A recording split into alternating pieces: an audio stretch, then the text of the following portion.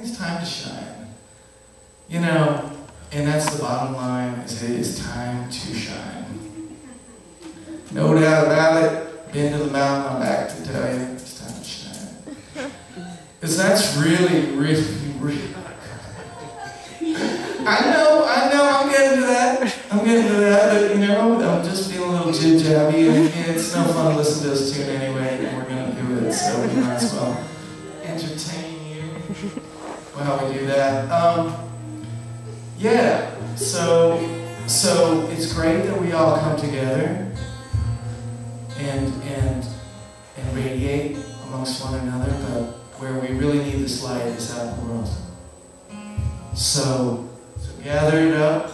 And I know you're all charged up at this point after uh, all these amazing, amazing yoga sets. Thank you, Mahan Rishi. Did, did anyone catch that today?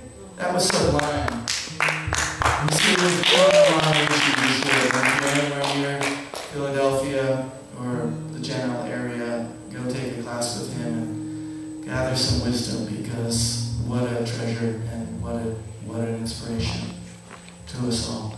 Thank you for that class today. That was awesome. All right.